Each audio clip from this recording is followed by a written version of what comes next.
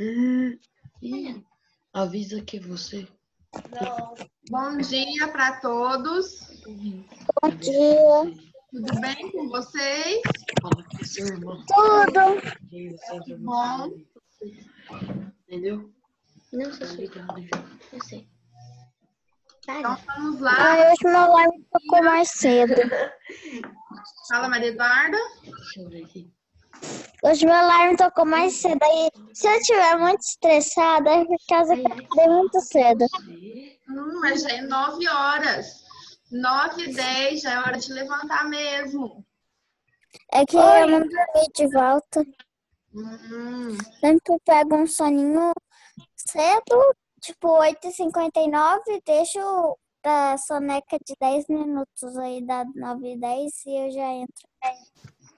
Eu não fico estressada. Entendi. Pessoal, livro de matemática, página 154. Uhum. Livro de matemática, página 154.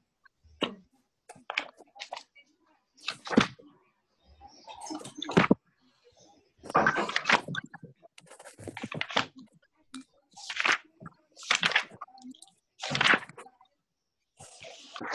54.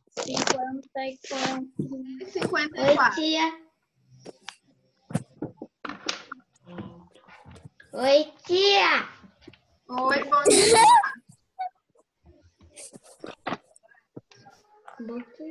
Escutou? Não, não sei. Conversa por aqui, ó. Sente o quê? Oi, tia. 154. cinquenta e Ah, obrigada. Não.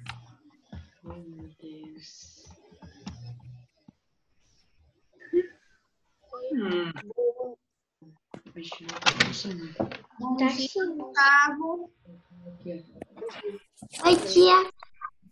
Precisa do microfone ligado. Se você quiser que eu responda.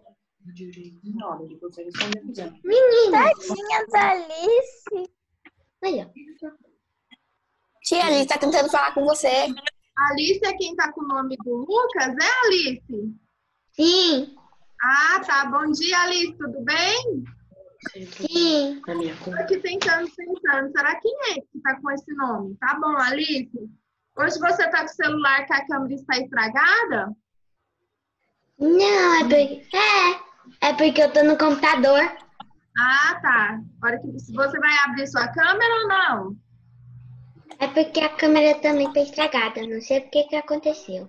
Ah, entendi. Qualquer coisa você chama, tá bom? Sim, sim. Gente, vocês estão ouvindo algum barulho aqui de mim falando aqui? Tipo assim, Não, não, tá normal. sim. Aham. É porque quando foi 9 horas, o, o zelador aqui do condomínio resolveu ligar o cortador de grama aqui pertinho. Vocês estão ouvindo? Sim. Não. Ah, que bom, então, que eu fechei a janela. É, todos já estão com livros de matemática na página 154.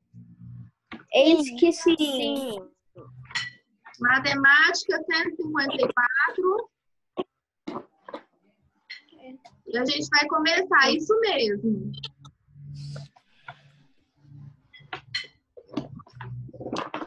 Questões de quantidade. Pessoal, agora vocês vão desligar o micro- os de vocês e vão só prestar atenção na explicação, tá bom? Quando eu terminar de explicar, eu vou perguntar dúvidas, entenderam? Tal. Aí vocês vão poder falar. Tudo certo? Então vamos lá. Na página 154, fala sobre fração de uma quantidade. Deixa eu só esperar a Prisma entrar, porque é certeza que ela vai me chamar. Só um minutinho. Enquanto isso, vocês já vão abrindo aí.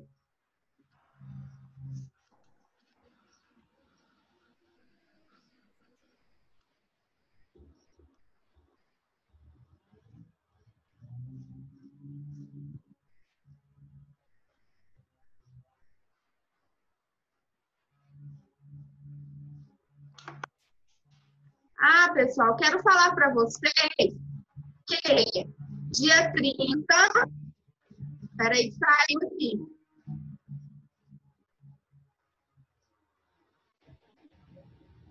Deixa eu fechar que deu alguma coisa errada.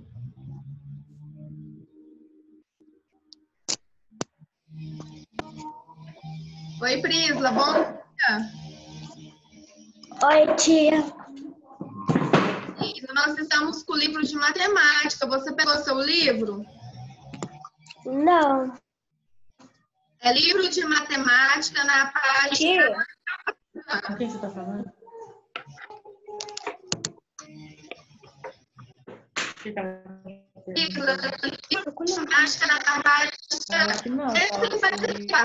Tia, é, já corrigiu todos os livros?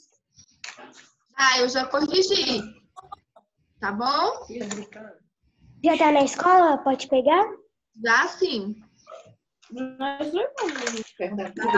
Não levei nenhum livro. Isso, essa é a liga de. Vamos compartilhar a tela aqui, gente. Queria falar para vocês. Dia 30, terça-feira, é Estamos de férias, né, tia? encerração, viu? Então, quero que todos participem. Vocês têm que estar fantasiados para participar. Vai ser pelo Instagram da escola, certo? Vocês vão ver essa imagem aqui, ó. Vai ser a professora a Juliana e eu, Tatiana, tá bom? Dia 30, 9 horas da manhã, pelo Instagram da escola terça-feira, certo? Só para falar para vocês.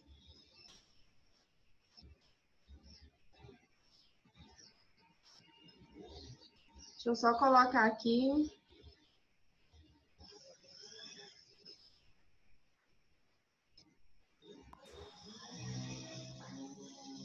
Tia, não tenho fantasia. Tia, Oi. Aqui, essa imagem. Pode falar, quem é que tá dizendo? Tia, a minha mãe tá perguntando por quê. Porque eu não levei nenhum livro. Para corrigir, João Gabriel? Eu, eu só levei as folhas e os, as revisões e o simulado. Tá, João Gabriel, então pode levar, viu? Seus livros e cadernos para correção. Tá bom? Quem não levou, pode levar, que eu estou corrigindo. Então vamos começar, pessoal. Olha só. O livro de vocês fala sobre fração de uma quantidade. E ele nos traz um exemplo que é assim, ó. Vimos em aulas anteriores, podem deixar os microfones desligados, somente eu falando.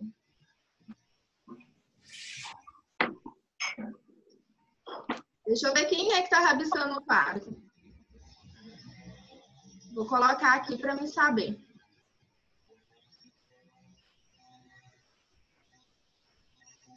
Só um minutinho.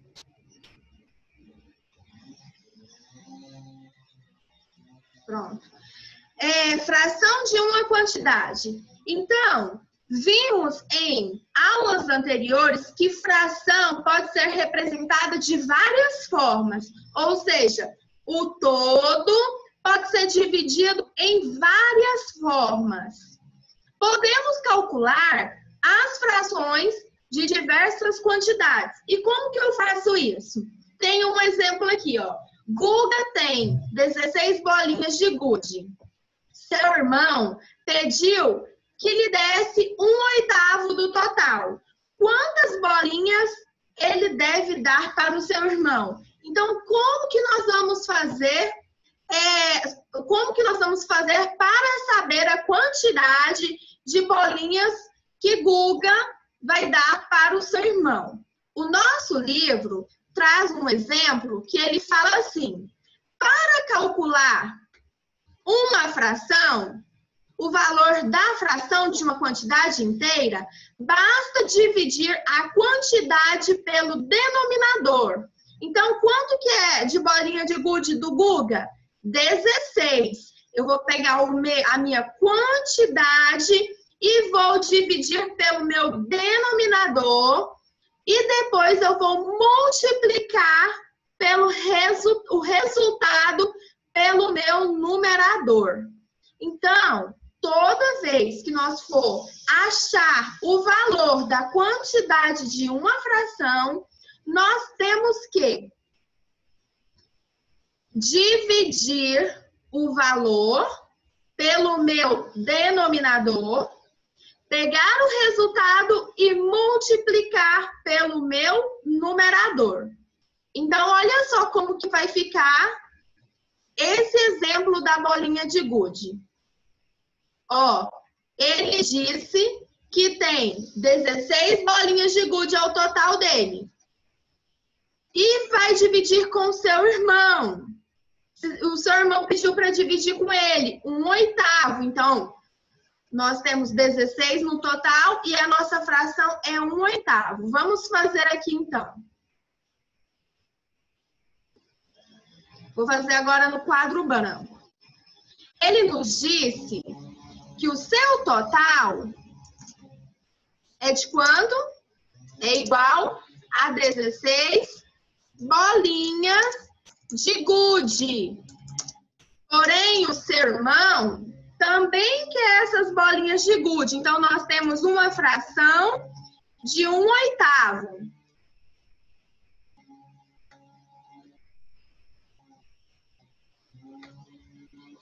Um oitavo. Como que eu vou saber quantas bolinhas de gude eu vou que o que ele vai dar para o irmão dele? Então eu tenho que fazer o quê? Eu vou pegar o meu total, que é 16 bolinhas, vou dividir Vou dividir por quem? Pelo meu aqui, ó, pelo meu denominador, que é 8. Quanto que é 16 dividido por 8, gente? 2. 2, que dá 16, 0, 0, 2. Então, 16 dividido por 8 é 2. Eu peguei o meu total, 16, dividi pelo meu denominador. Agora eu vou somar o 2, que é o meu resultado. Vou somar, não. Vou multiplicar o 2, que é o meu resultado, por, pelo meu numerador. 2 vezes 1. Um. Quanto que é 2 vezes 1? Um? 2, né? 2 vezes 1 um é 2. Então, eu dividi a quantidade pelo meu denominador, depois eu multipliquei o resultado pelo meu numerador. Então, ele vai dar para o seu irmão duas bolinhas de gude, certo? O que que vocês precisam entender? Eu vou pegar o meu total, que eu tenho aqui 16, eu pego o meu total, eu faço a divisão dele pelo meu denominador e depois eu, eu faço a multiplicação do resultado vezes o meu numerador, certo? Vamos para as atividades do livro. Vocês é, entenderam o que, que eu disse para vocês? Alguma dúvida sobre fração de uma quantidade? Como que nós vamos achar a quantidade de uma fração? Pode falar. Alguém? Posso ir pra, para as atividades? Veio. Alice? Não. Então, vamos para as atividades e se vocês tiverem dúvidas, pode me falar. E nas atividades vai ser a mesma coisa. Uma criança responde uma, depois a outra responde a outra, assim por diante, tá bom? Então, vamos lá. Calcule, na página agora 155, número 1. Calcule as operações. Eu vou perguntar agora para o Arthur. Arthur, eu tenho dois quintos destes lápis. Arthur, quantos lápis eu tenho? Conta aí pra mim quantos lápis tem aí no total. 10. 10 lápis, Arthur. Então, o que, que eu tenho que fazer? Eu tenho 2 quintos de 10. Eu tenho que pegar o meu total. Quem é meu total, gente? Pode falar. 5. 5. Quem é meu total? O 5. 10. O 10 é o meu total. O meu total todo é o 10. Então, o que, que eu tenho que fazer? Olha só. Eu tenho que pegar o meu total, que é 10. Eu tenho ele aqui. Agora, eu tenho que dividir ele por quem, Arthur? Por 5. Por 5, que é o meu denominador. Então, 10 dividido por 5. Quanto que dá? 10 dividido por 5? Arthur? 2. 2. Agora, o que, que eu tenho que fazer? Eu tenho que pegar o meu resultado, que deu 2, vezes, vezes quem, Arthur? O 5. Vezes o meu numerador. Quem é meu numerador?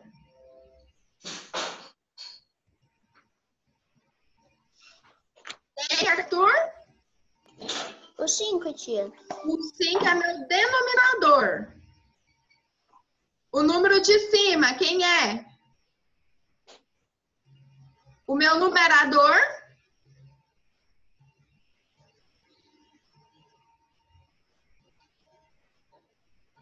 O 2, tia. Isso, muito bem. O 2 é o meu numerador. Ó, eu tenho 2, que é meu numerador, e o 5, que é o meu denominador. Certo? Quanto que é 2 vezes 2, Arthur?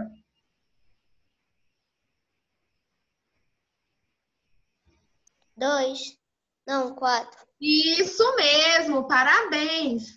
Então, eu vou resolver essa operação assim. Eu peguei o meu total, que é 10, 10 lápis.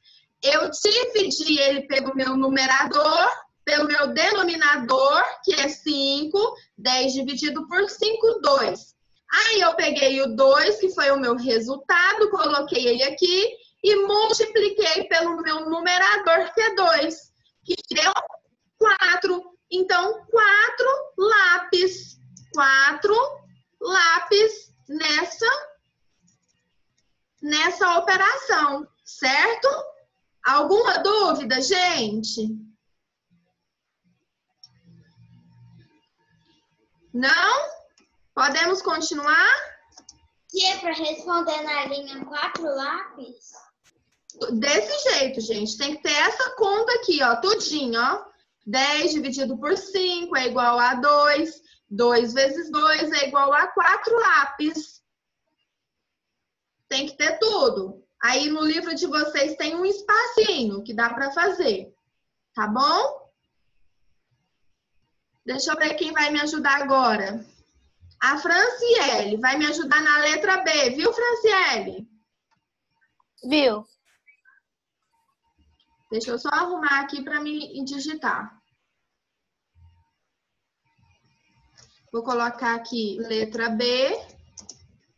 Franciele, qual é o número? Qual é o meu número do todo?